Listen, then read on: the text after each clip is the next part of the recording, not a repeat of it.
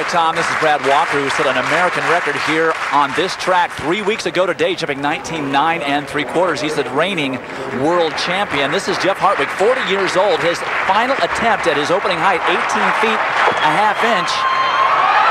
And a lot of drama here, and Hartwig still in the competition. He went on to clear the next height, 18.4 and a half on his first attempt. And then Walker finally entering the competition, the highest starting height of any of the 13 finalists, the bar at 18.6 and a half. A little bit marginal with the winds swirling the way they are, but no problem for Walker on his very first attempt.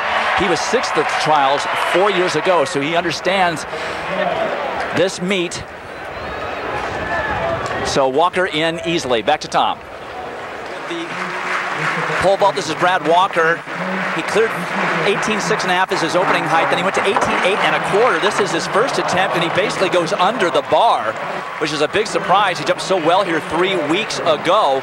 So a miss sort of early for Walker. And this is Jeff Hartwig, final attempt at that same height, 18.8 and a quarter. The 40-year-old jumps himself onto the Olympic team with that clearance. The last two trials, he's no-heighted in the qualifying round, and now at 40 years old, he makes the team. Now the bar goes up to 19 feet 3 quarters. This is Walker's last attempt because he passed and he just runs through on both of his attempts at this height.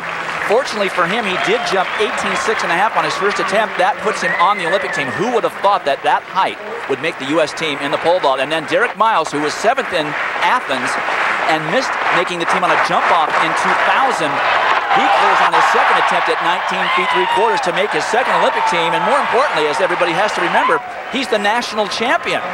Hartwig's last jump at 19 feet 3 quarters. He had already set a world fastest record by jumping 18 8 and a quarter, and he had two outstanding attempts with a bar at 19 feet plus. So Hartwig, after 12 years, makes his second Olympic team. He was on the team in Atlanta, so Miles wins it.